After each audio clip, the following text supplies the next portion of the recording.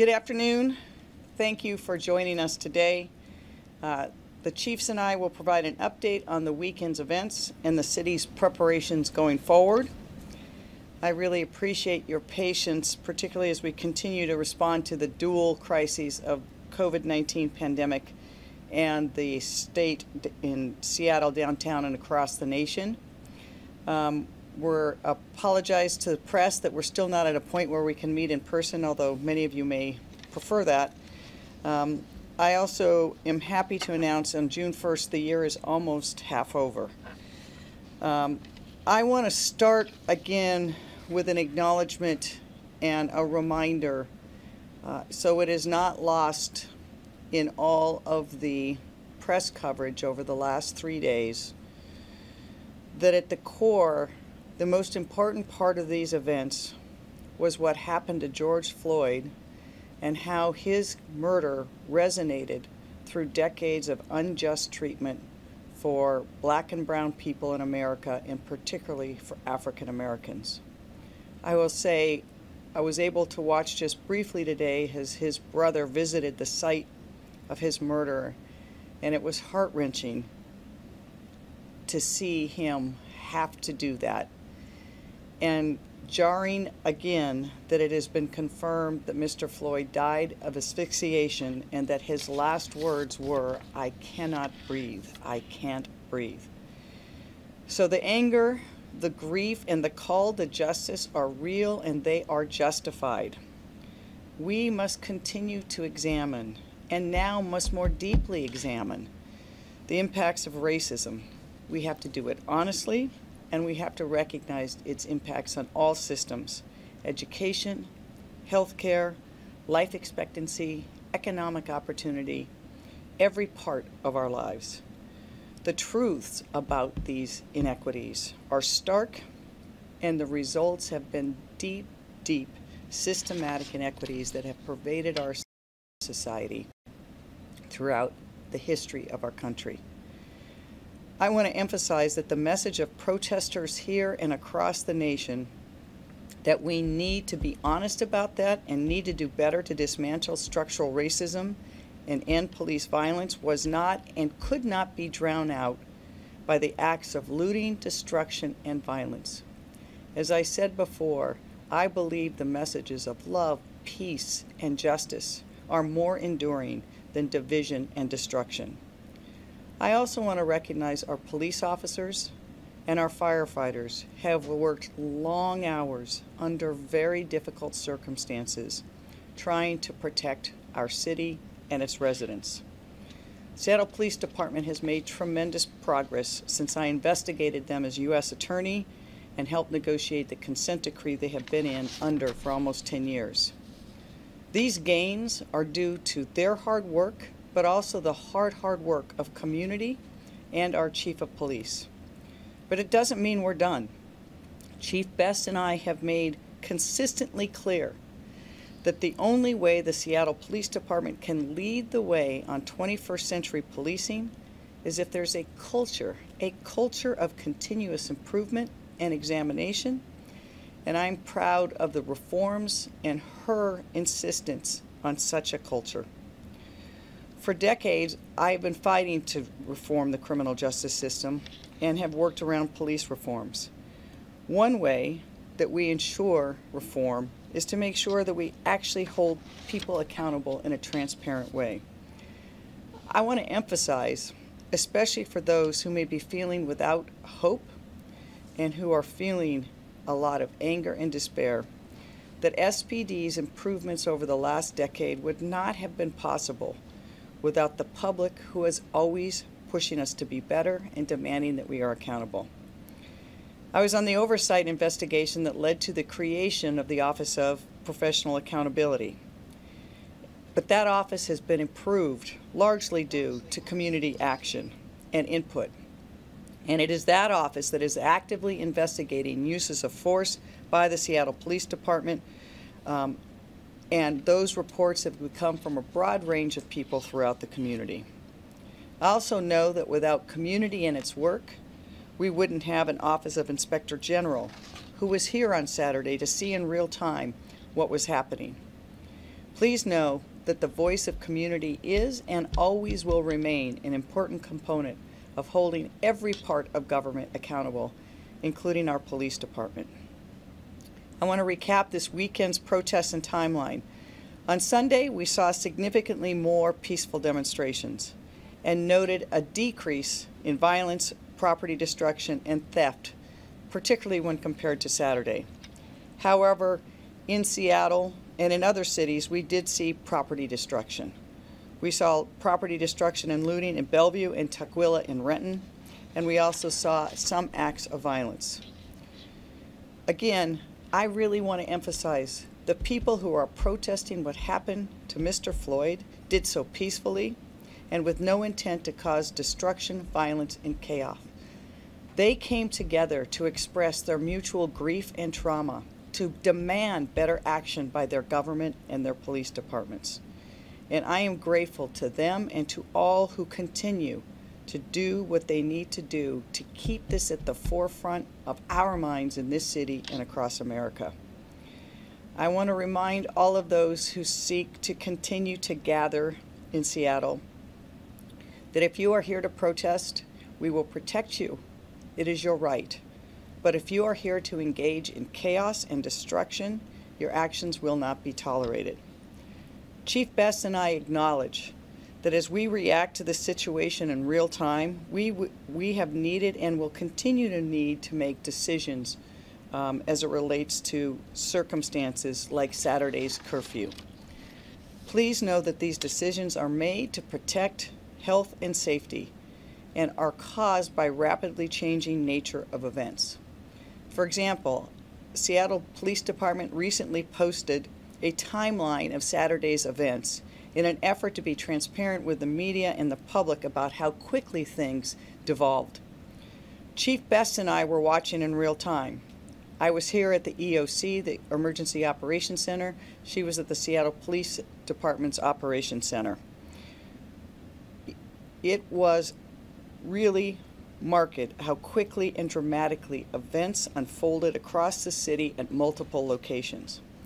I really hope that everyone can visit the blotter to see the timeline of events on Saturday, but I want to recap some of them so you can capture what we were seeing and how the decisions were made. At approximately 2:45 p.m. on Saturday, a peaceful demonstration at Westlake Park continued as groups in the vicinity of Westlake, Fifth and Pine began to escalate.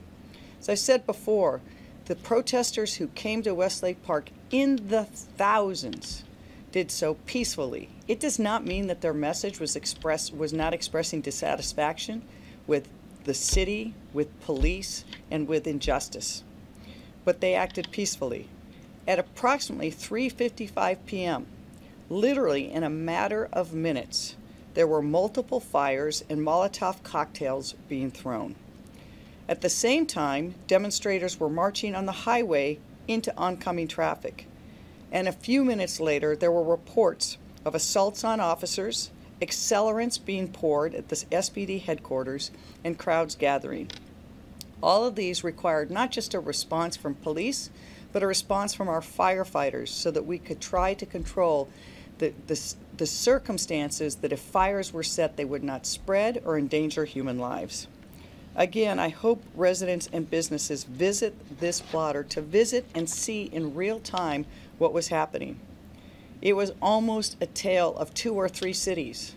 You had the thousands of people gathering at Westlake peacefully to gather and march, which they did. But within blocks, there were other people coming with backpacks that had rocks and pipes and projectiles and frozen water bottles. They started property damage, fires were set, they looted and stole business. And this was all in a very brief period of time, which required the police department to both keep peace for those who were protesting lawfully and protesting peacefully, but also try to protect people and property in downtown Seattle. By midday Sunday, there were hundreds of buildings damaged, including more than 90 businesses in Chinatown International District. I want to say that again over 90 businesses in Chinatown International District that were uh, damaged in the rioting. I'll let Chief Best speak to the finer details of the timeline, and Chief Scoggins can address any questions related to the fires. But I can assure you that it was the rapid escalation of the demonstrations that was not something I had seen or Chief Best had seen since WTO. It was inconsistent with the hundreds of events we have in Seattle around a range of issues. And last night, we saw that we're not alone, as we saw over the weekend. Last night, we saw cities in D.C. and Boston, how events continued. And I will let Chief Best provide you with an update on that. Because some violence, property destruction, and theft continues in parts of the city, and there are threats of such actions, there will be another citywide curfew from 6 p.m. tonight till 5 a.m. tomorrow. Uh, 6 p.m. is one hour later. We've heard from some people you saw yesterday that there were protesters who protested peacefully, who did so even after the curfew, but it was uh, the police exercised their discretion to determine that they were they could do so and they could express their views, they could march and they could do so peacefully. Chief will continue to exercise her discretion as the chief of police. We expect a series of demonstrations across the city today um, and not just in downtown Seattle. As I said earlier, Seattle Police Department made no arrests for the violation of curfew over the weekend. Our intent was to educate and to encourage people to voluntarily comply we have found that many people complied with the curfew, which means that then the Seattle Police Department and the Seattle Fire Department had better access to the roads and streets so first responders could respond as necessary, including to medical events.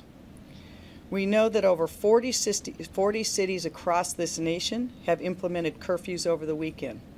It's not something any city does lightly. We are proud of our heritage for the ability to publicly gather and to be out and, and form society and community. But we also need to take into account the very real public health and safety implications as we see them.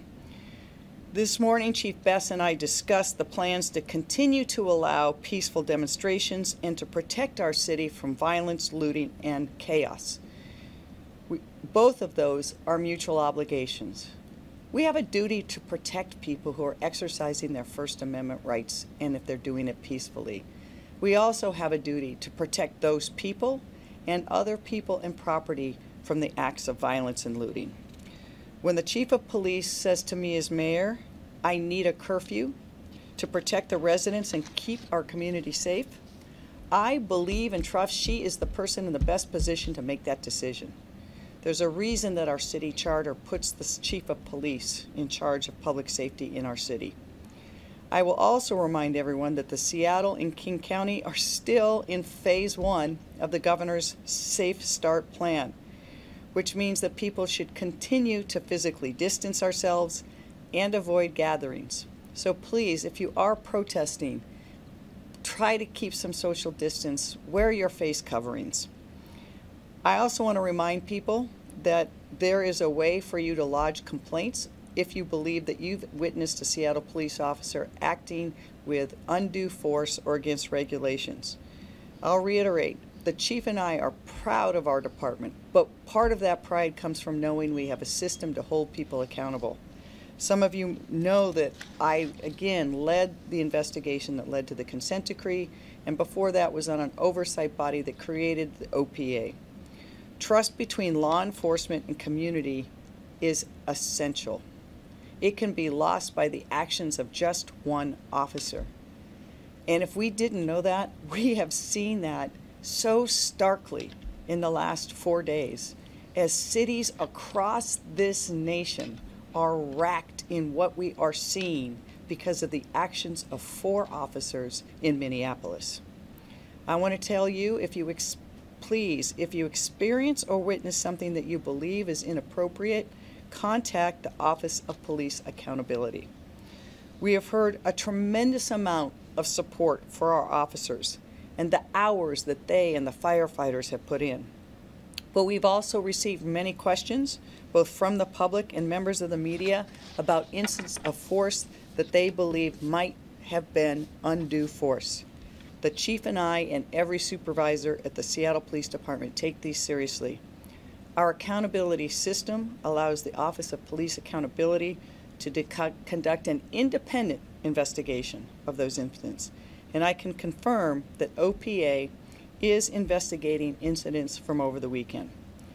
I also want to take this moment to express my gratitude for Director Myerberg at OPA and Inspector General Judge.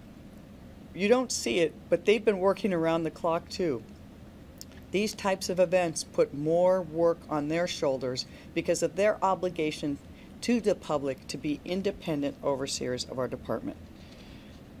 We all want our city to be safe for people to express their First Amendment rights and safe for everyone else. Those things can and should and must exist together. Now I'll turn it over to Chief Best, who can ask any questions, and then Chief Scoggins will address questions. Um, we'll then uh, take questions after that. I, I just have to say one last thing again. I could not be more grateful for the work of the two chiefs standing with me today. Their work over the last five days truly has been nonstop, and their wisdom and advice they've been able to give me, and what I've seen them be able to accomplish, everyone in the city should have a lot of pride in their work and the work of their teams at the Seattle Fire Department and Seattle Police Department. And with that, Chief Best, I'll give you the floor.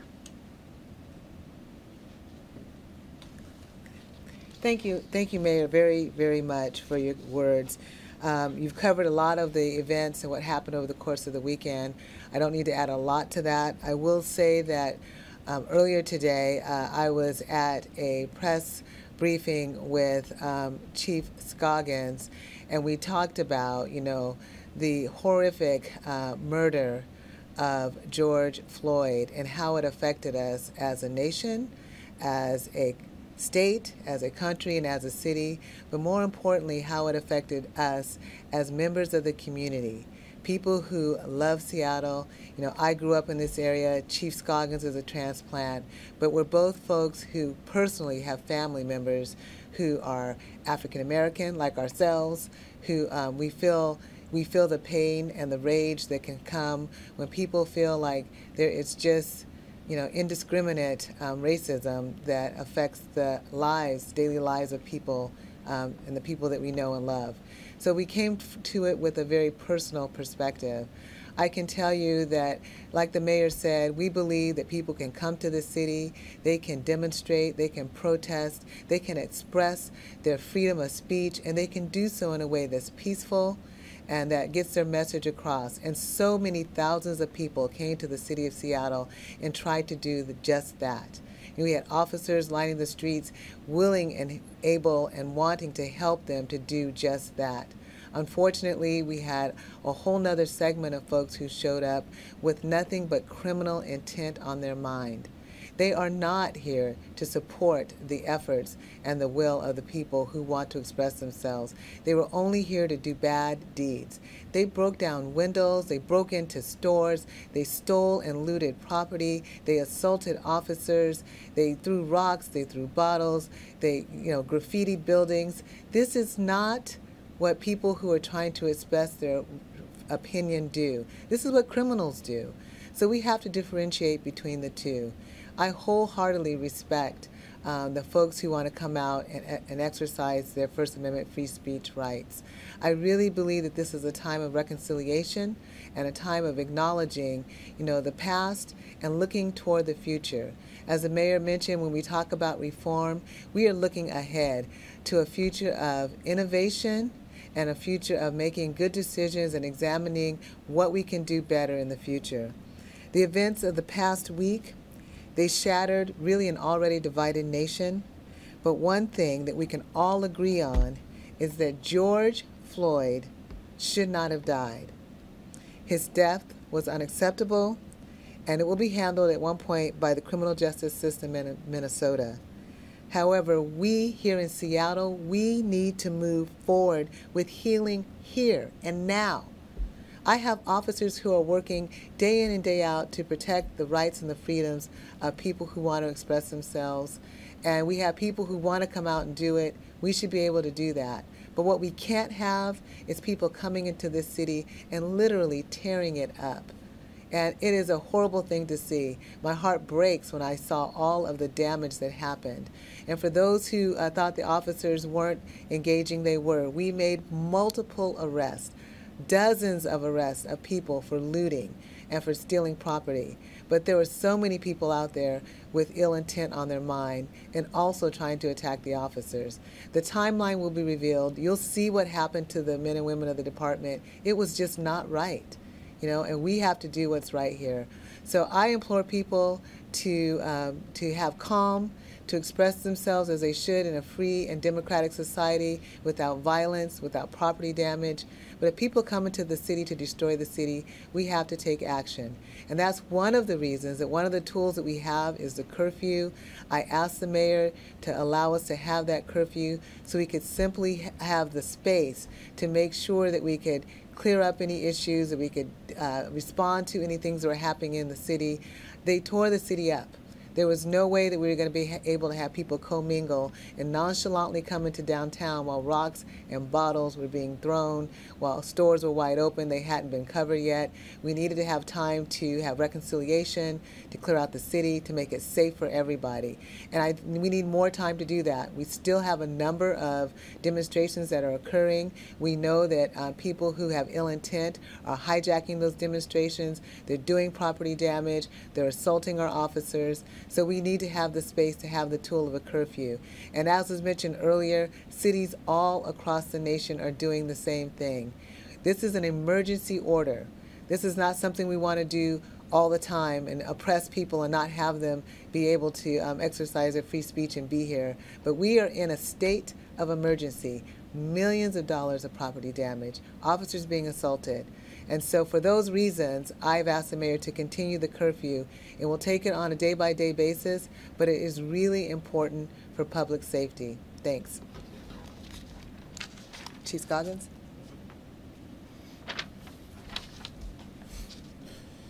Good afternoon. My name is Harold Scoggins, Fire Chief of the Seattle Fire Department. Um, I want to start off with, with a few thank yous. Thank you to the mayor for your steady leadership. It's important for us as a city and a community to have steady le leadership. Thank you to Chief Best for your public safety partnership, and thank you to all of our, our executive peers here in the city of Seattle who have been working hard to serve community. And I also want to thank the men and women of the Seattle Fire Department, our sworn and professional staff who have been working around the clock um, over the last several days to continue to serve community. I just want to give you a brief update on some of the challenges that we have faced over the last few days. On Saturday, May 30th, we responded to approximately 32 calls um, in and around the different protests. 12 of those 32 calls were related to fire related type responses. Many of you saw the eight vehicle fires that we responded to. And then on Sunday, May 31st, we responded to 22 calls and five of those 22 calls were fire-related responses, and luckily none of them became very large, and they were all small in the incipient phase. But one of the asks I have for those who are out there protesting and, and expressing your First Amendment rights is when you see our firefighters, our ambulances, our, our medic units, our engines, our ladder trucks, if you can move to the right so we can get, get through. It's important that we get to where we need to be because if we're coming in, there's a fire, there's a medical emergency, and both of those are built on time. So I'm just asking for you to work with us as we're working with you through this pandemic and through these protests. Thank you. Thank you, Chief. Um, I want to also, uh, on, meanwhile, we are still in a pandemic. Um, and on that front, we, this morning, you'll see that the numbers, that the, the numbers of infections continue to rise in Seattle and King County. Uh, today, King County will be applying for businesses in King County to be able to move some of those businesses to phase two. Um, and we then will get a ruling from the governor on whether that's allowed, and if so, we will need to start implementing in the city of Seattle how those businesses are going to operate, um, looking to the Seattle King County Public Health in terms of the, the public health guidelines that will, will go with that business operations. For example, employees needing to wear masks, uh, what they do to take their temperature, uh, a whole range of sanitation. So uh, this will be a very busy week just on trying to start to reopen our economy and our businesses. And I'll say it was one of the things that was very um, sad for me on Saturday and Sunday was to talk to small business owners who had been hanging on by a thread for these last two months with their businesses closed, not sure how they would emerge, but getting ready to emerge, having some hope on the horizon that they could start to make money again and open their businesses, only to have their businesses damaged or vandalized by looters uh, on Saturday or Sunday. So we in the city are working very hard to address those. Um, we had numerous requests from the Chinatown International District, which has been one of the hardest hit part of our city since the beginning of this pandemic, uh, to help their businesses who were hit with broken windows and graffiti and those who feared it. So uh, till 2 o'clock in the morning or one, somewhere around 1 or 2 a.m., our crews from Seattle Public Utilities and Seattle Department of Transportation were working with the community to help board up the windows uh, in Chinatown International District. It's a sad commentary that we had to, but it gave a, tr- a tremendous amount of relief to the, that community which has been hit so hard. Uh, happy to take some questions on either where we are on pandemic planning uh, and what we're seeing there, or on the events of this weekend, or where we are going forward. And the questions can be addressed to either me or either of the chiefs. Thank you, Mayor. Thank you, Chief Carmen Best and Chief Harold Scoggins. Um, quick reminder today that I will be muting and unmuting you as we move forward, asking questions. And please, uh, many people have been waiting patiently today to ask questions, so if you could please keep it to one question per outlet, that would be greatly appreciated. Our And I, I'm only going to answer the first question. So whatever you want your question to be, you better ask it first. Thank you, Mayor. Our first question will be from Michelle Esteban from uh, KOMO News, followed by Michael Crowe, King 5. Michelle, the floor is yours. Thank you very much, Mayor. I appreciate your time. My question is for Chief Best, if I can direct it to her. Hi, Michelle. Hi there, Chief Best. Thank you for your time. I appreciate you and your time. Um, I wanted to ask you about the metrics of the arrest and what percentage of those arrested might be from out of the city. I think I just heard you say that we can't have people coming into the city to cause destruction. So I'm looking for the metrics on who are these people that were arrested. Perhaps some of the intelligence that you collected Sure. will also, in terms of who they are, where Yeah, absolutely. Sure. Let, let me clarify. When I said coming into the city, I, I really meant just people coming into downtown. From some of them were from the city, but we are looking at um, all of the residences and locations. We're trying to verify the names uh, to make sure that we can match the names with where people actually reside. Um, it may come as a surprise to you, but some people actually don't tell us the truth about who they are and where they live. So we have to do a little bit of verification before we put that information out. I anticipate having it ready to go sometime this afternoon, uh, and we're working on it uh, right now. So I I can't give you uh, anything more than that uh, because I just want to make sure that we get it right. You know, accuracy is so important. Thank you, Chief. Our next Okay. question will be from Michael Crowe, King 5, followed by Richard Read, LA Times. Michael, the floor is yours. there, and uh, thanks for thanks for taking my question here. Uh, just a question uh, for the mayor. Uh, with King County trying to get, of course, to to the modified phase one of reopening, is there any concern right now that that these these large gatherings of hundreds and thousands of people over the weekend might have some impact on uh, the coronavirus cases that could impact the timeline? Yes, there is a concern of that. I've not yet had a chance to talk to King County Public Health officers about that. Um, but throughout this, the reason we had a limitation on gatherings is, is because the way this virus is communicated. People did what they had to over the last almost three months now, and it's been with devastating economic impacts and social impacts. But as a result of that, about 95% of the people of King County and probably Seattle have not been exposed to the virus. When people come together, that gives the virus the opportunity to spread. And not only are those people might get sick, but they can bring it home to their families and their other loved ones. And so I would urge people again, if you're going to gather, please try to keep your social distance. Please try to wear face coverings um, and try to limit your physical contact with people. Um, it's, it's anathema to how you protest and organize, uh, but the pandemic is real. And following these events, for people who have been in those large crowds, please, if you start to experience any of the symptoms that are related to COVID, please get to a healthcare practitioner so you can report it and if necessary, get tested. Uh, it is going to be the only way we move forward as a city and a county and a state is if we can control the number of infections and don't overrun our healthcare system. And so people can communicate the disease even before they know they're sick. And so important for people to get immediate attention and testing so that people around them that they've had contact with can also be reviewed for their symptoms and tested if necessary, and that people can be isolated so they don't give COVID to other people. Um, so yes, we have that concern. You you see these events where people coming close together like that, and we have seen over the last three months that events like that, and I'm not saying protests, but events where people come together in those types of crowds become what they're known now as super spreading events. And we've seen it from beaches to spring breaks to other types of events. So we're very hopeful that doesn't happen, but we truly do want to urge anyone who was in the crowd, just having a face covering does not protect you. If you start to develop symptoms, please have them checked. Our next question will be from Richard Read, LA Times, followed by Simone Del Rosario, Q13 News. Richard, the floor is yours. It's a question for Chief Best. Um, the mayor described these men arriving with backpacks full of weapons and so on. Um, I realize it's difficult uh, for you to say, as, as you said, the facts are still coming out and it, it is an ongoing investigation. But what more is known about these people currently uh, and others who are um, responsible for violence. Are you seeing Antifa or far right organizations? Is there any indication that groups might be coordinating with other cities?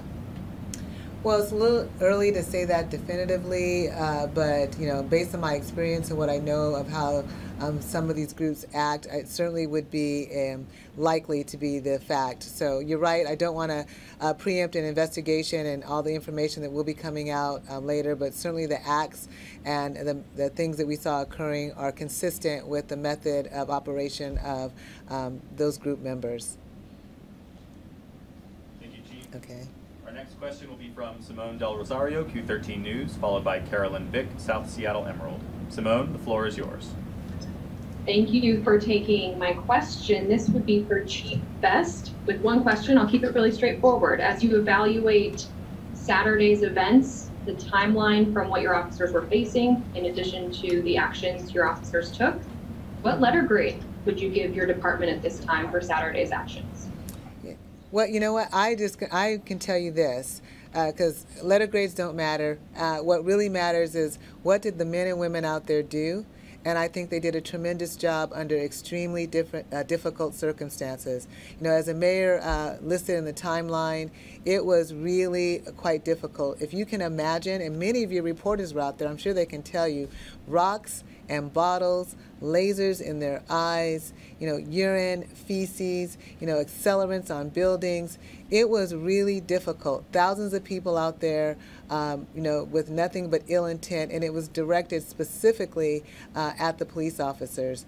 So uh, that was really trying. So I think that anyone facing that and getting through that day, and this city did a great job. We had a number of departments working together under the leadership of our mayor, with our par- in partnership with our fire department and other city departments. You know, it, it wasn't a perfect day, but we did a lot better than a lot of other places. Look around the nation. You know, we didn't have buildings burnt to the ground. You know, we didn't have people shot. Nobody died you know, and so even that was a success in a lot of ways. So rather than give a letter grade, I would just say I'm completely honored and humbled to be a part of an organization where the men and women stepped up and did their job under tremendously difficult circumstances. Thank you, Chief. Our next question will be from Carolyn Bick, South Seattle Emerald, followed by Deborah Horn, KIRO 7. Carolyn, the floor is yours. Hi, this question is for Mayor Durkan. Um, so, Mayor, I'm, I'm aware you already addressed the issue the issue covered badge numbers yesterday, but this is still relevant given some pictures from yesterday the Emerald received this morning. I wanted to ask if officers are still allowed to cover their badge numbers, will they be required to wear the special mourning badges that are engraved with their badge numbers as authorized by the Seattle Police Foundation? And if not, will they be required to take off their helmets and sunglasses so that people can identify who they are, since there are videos of them not responding to protesters when asked for their names? Um, and if neither of those apply, um, how will be, people be able to lodge complaints against officers they feel that have acted inappropriately with the OPA? Caroline, thank you for that question, and thank you for giving me the opportunity to clarify once again. Um, Seattle Police Department regulations require every police officer to display a badge that has their name on it. And every one of the photos that I've seen where people are complaining about an officer wearing a mourning badge, on the other side of their chest is their name. Um, we know who our officers are, we know where they are deployed. I don't believe there's ever been a circumstance where someone has made a complaint against an officer where we've not been able to identify who the officer was. With regards to the mourning badges, again, this is a, a long tradition where officers wear a badge with a black stripe that they put on there because it's a tradition for when an officer is killed in the line of duty from either their department or an adjoining police department. And they wear that until they're able to have the service for that person. In this circumstance, there's two officers from other law enforcement entities who were killed in the line of duty, who Chief Best talked about yesterday, and they've not yet had the ability to bury them because of COVID. There was no attempt by anyone to cover badge numbers. We will look at the policy to see if even on mourning badges there can be a way for a badge number to be displayed. But again, I think the really important thing for you to communicate to readers is the badge number is a fallback and in some ways an unnecessary redundancy. It is their name that is important, who they are and how they police. But we'll of course look at that to see if there's ways that we can you know give the public more confidence and give police officers the opportunity to show their mourning for other officers. Thank you, Mayor. Our next question will be from Deborah Horn, KIRO 7, followed by Daniel Beekman, Seattle Times. Deborah, the floor is yours. Thank you, um, Mayor and Police Chief Best. I want to ask another question about the curfew. And you have the curfew, it's going to last until 6 o'clock. It's hard to ask just one question, but I will do my best. It's going to last until 6 o'clock. Yesterday, people were still in the park until 11 o'clock at night. Lasting until 6, or is that just a, a general time of when you want most people to leave and you'll take care of the others? And will people see anything different in terms of policing and making sure that property is not vandalized like it was over the weekend? So I will let the chief talk to most of that, but I think one thing, Deborah, that's really important that you pointed out is um, the curfew is a tool that the police can use like any other law to help control and maintain public safety. But like with everything, they must use their discretion and, and in this case balance it against the, the lawful right of people to gather and express their First Amendment rights. I think you saw yesterday the police department is using their discretion to allow those peaceful gatherings, even though there was a curfew in place. Um, but had there been unlawful, if there had been illegal activity, it would have given them another tool. I also just want to clarify, I'll let the chief talk, but it starts at 6 p.m. and goes until tomorrow. It isn't until 6 p.m. So it starts at 6 p.m. tonight. Chief, do you want to address the curfew too? Sure. Hi, Deborah. As you know, um, you know, we're really concerned with public safety. We have to make decisions in the field. The curfew, the same curfew that many other cities across the country and even locally are, are looking at uh, Im implementing. It's simply because we can make sure that we that we can, you know, the law-abiding folks can uh, are not there, and the folks who are there to do um, you know, ill will, that, that, we can better identify who they are and better operate. Last night, uh, as you know, a lot of people showed up at downtown. Uh, they moved around the city. They moved up into Capitol Hill and they came back and they ended up at Westlake uh, Mall. There was about uh, upwards of 800 folks there. Uh, we wanted to uh, use good judgment. I trust my commanders. We talked to some of the organizers and folks um, to try to get them to move along after they had some of their speeches. It was in the best interest of public safety not to have physical confrontations with all the folks. We gave them as much opportunity as we could, and then we had to move them out. Um, and and uh, by and large, most folks left uh, relatively peacefully. And at the end of the day, if uh, while we're going to make sure that we uh, follow and try to operationalize that curfew, uh, ultimately, what we want is we don't want our downtown uh, to be destroyed by people who come in to do ill work. And uh, we'll always work on the side of judgment of making sure that we're doing the right thing. In terms of the vandalism and the looting that was occurring, as I said earlier, we made dozens of arrests of looters uh, dozens. Uh, we had our officers all over the city making sure that we could try to minimize the um, damage. And while there was a lot of damage and it was heartbreaking to see, absolutely heartbreaking, it would have been way worse without the cops being out there. So those who want to criticize, I say, you know, we had as many people out there working as hard as we could to protect life first and property as a secondary uh, uh, target there. Uh, and we did a lot of work in that area. So, and if we hadn't been there, uh, what we saw would have been way worse than what we did have at the end of the day. So I feel like um, the officers are doing the best they can to make sure that we identify and arrest um, people who are looting. But um, that's part of the reason that we implemented the curfew so we could better um, have control of the situation when it occurs in the city. Thank you, Chief. Our next question will be from Daniel Beekman, Seattle Times, followed by Kate Walters, KUOW. Dan, the floor is yours. Thanks a lot. And this is a question for either the mayor or uh, Chief Best. Um, some city council members this morning, including the public safety chair, Lisa Herbold, um, brought up a, a, question concerns about uh, police officers, I think on Saturday in particular, um, uh, firing tear gas and or flashbangs into crowds without prior um, warning or audible warning and suggesting that that was in violation of city law. Uh, can just can you speak to whether uh, you know whether that occurred or not and um, how it relates to the law? Thanks. So this is the first that uh, Council Member Herbold has raised that. I don't believe she, she, I know she hasn't called me. I don't believe she's called the chief. She hasn't.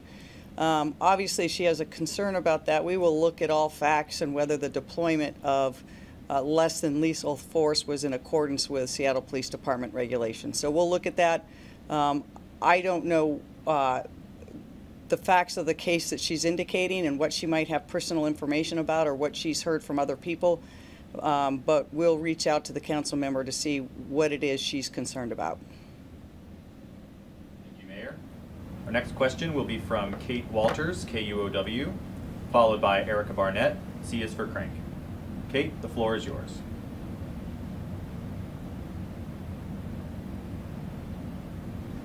Okay, Kate, we will circle back to you. Erica, you will be our next question asker, followed by Steve Miletich, Seattle Times. Erica, the floor is yours. Hi, I have another question about the curfews. Um, you said this weekend, and it has been reiterated in this press conference, that uh, a curfew takes lawful people off the street. Obviously, there were peaceful protesters who were out um, after the curfew this weekend, or on Sunday in particular. Um, do you uh, do you stand by that statement that uh, it takes lawful people off the street so that uh, the unlawful people can be identified? And do you think the curfews are working as planned? It was one tool, and I think that we showed that it did work. Um, and I think we also showed that the police used their discretion appropriately to determine whether to balance the First Amendment rights to gather peacefully against a lawful order under a curfew. And they made the decision that those people who were gathering peacefully could continue to do so. So I think that the curfew is one tool. The chief believes it's a tool that she needs to maintain public safety. She is charged with maintaining public safety under our city charter. Um, and I have every confidence that her uh, decisions and her judgment has been correct. Uh, and I think that the difference between what happened Saturday night and Sunday shows that we did use some effective uh, tactics to get a different result. Thank you, Mayor. And our final question today will come from Steve Miletich, Seattle Times. Yeah, Seattle Times is doubling up on us. Hi, Steve. Steve, the floor is yours. Today. Can you hear me? Yeah, go ahead, Steve. Oh, you cut out. They're in interest of. Can you hear me now? There we go. This must be like a Zoom call. Can you hear me now? We got you. Okay.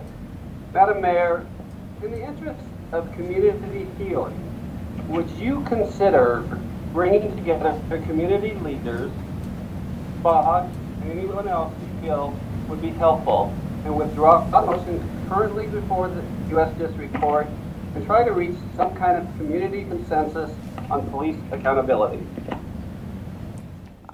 I, I would always be open to that. I mean, I think that uh, one positive thing that people may have not noticed in the chaos of the last four days was the public statement that the president of the Seattle Police Officers Guild gave about the death of Mr. Floyd, which acknowledged that the death was wrongful, that the police acted wrongful, and recognized that those acts and acts of police officers can always undermine the trust and it's their obligation as police officers to regain that trust, not through words, but through actions. So I believe that reconciliation is a really important thing for healing.